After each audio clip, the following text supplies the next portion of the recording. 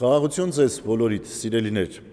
Ղուկասի ավետարանի մեջ հետևյալ պատմությունն է այսօր, որպես ընթերցում մատուցվում մեզ։ Եվ օրը սկսեց տարաժամել։ 12-ը մոտեցան եւ նրան ասացին. Արցակիր այս ժողովրդին, որpիսի գնան շրջակա գյուղերն ու ագարակները հանգստանան եւ կերակուր գտնեն, որովհետեւ այստեղ ամայի վայրում ենք։ Նա ասաց նրանց. Դուք տվեք նրանց ուտելու բան Եվ նրանք ասացին. մենք 5 նկանակ նկանակից եւ 2 ցգից ավելին չունենք, եթե չգնանք եւ այս ժողովրդի համար բավարար ուտելիք չգնենք։ Հասկացաք սիրելիներ, 5000-ի կերակրումն է այստեղ։ Բայց հետաքրքիր է այն հատվածը, որտեղ Տեր Հիսուս Քրիստոս ասում է՝ դուք տվեք ուտելու բան։ Այս կյանքում սիրելիներ յուրաքանչյուր մեկս կոչված են կերակրելու մեր կողքինին կերագրելու մեր նմանին, օգնելու մեր նմանին։ Բայց գալիս է մի պահ, որտեղ ասում ենք, որ բայց մենք չունենք այդ հնարավորությունը անելու։ Մենք չունենք օգտակար լինելու։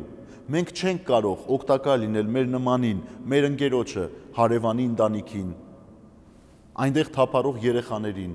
այս հայրենիքին մենք այլևս անելիք չունենք, որտեղ մենք հնարավորություն չունենք։ Եվ պատմության շարունակությունը գալիս է մեզ ասելու, որ դուք ուզեք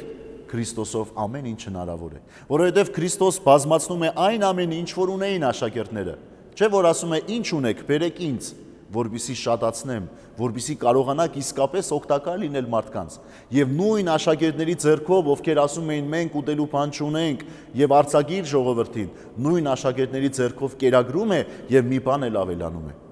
Սիրելիներ, մեր անկարողությունը մեզ համար դառնում է վախի պատճառ, որբիսի ոչ մի բան չանենք այս կյանքում։ Բայց Տեր Հիսուս Քրիստոս ասում է ձեր անկարողության մեջ ես կկարողանամ անել այն ամենը, ինչ որ պետք է անել։